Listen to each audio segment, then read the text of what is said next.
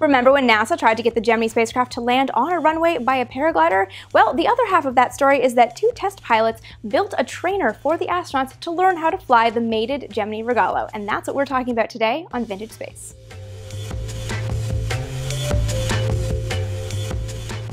In 1961, around the time that NASA was first looking at the Rogallo wing as the landing system for the Gemini spacecraft, Milt Thompson was a test pilot working at the Flight Research Center at Edwards Air Force Base on the Dyna-Soar and X-15 programs. He attended a talk by Francis Rogallo on the Rogallo wing and what it could possibly do when landing a spacecraft from orbit, and Thompson was fascinated. He was a huge proponent of lifting bodies and loved the idea of a piloted vehicle coming down from space to a runway landing. For Thompson, he saw in the paraglider the perfect proof of concept system to prove that you could have a lifting body return from orbit.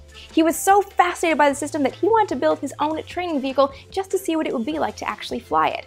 He took the request to Paul Bikle, the head of the Flight Research Center, and Bikle denied him. He said that the FRC was way too bogged down with the research program surrounding the X-15 and the Dyna-Soar to take on a third project, especially something this experimental. Undeterred, Thompson approached a fellow test pilot named Neil Armstrong, and the two of them conspired to build a paraglider research training vehicle themselves. Bikle eventually got wind and decided instead of letting his pilots die by their own design, that he would sanction the program with a very small budget. The program had a shoestring budget. In just seven weeks, the first vehicle, the Paresev 1, was thrown together for $5,000. There were no engineering blueprints. There were just chalk lines on the floor that gave engineers a rough idea of what the vehicle should look like.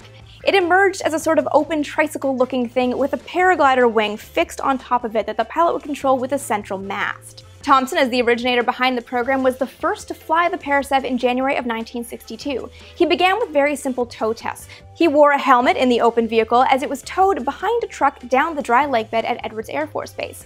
He didn't get enough speed for the wing to generate lift to actually rise off the ground, but he did have a chance to familiarize himself with the controls. Eventually, the tow truck went fast enough that Thompson got about 20 feet off the ground, and from there he could make an untethered landing if he cut the tow line. After gaining confidence from these tow tests, Thompson went on for air tow tests. The Paresev was connected by a tow line to a small aircraft, and that aircraft would tow the Paresev up to about 5,000 feet, at which point Thompson would sever the line and make a landing. That first day of tow test, Thompson made two successful landings, but the control forces were so tough with the center control stick that he actually had to wrap his legs around it to take the strain off his arms.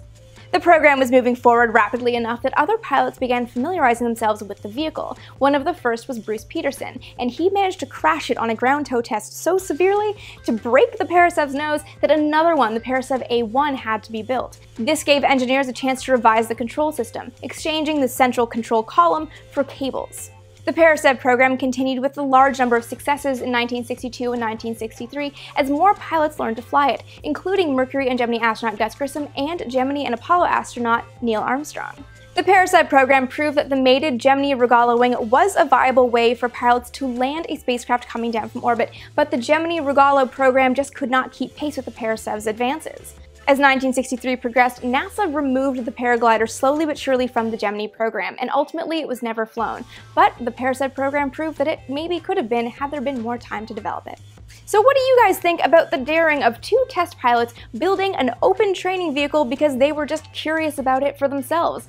Let me know your thoughts in the comments below, as well as any questions you have about the paraglider or Paresev programs, because like I said in a previous video, I absolutely love this program and love to talk about it. And of course, if you have questions, comments, or other ideas for future episodes, leave those in the comments as well.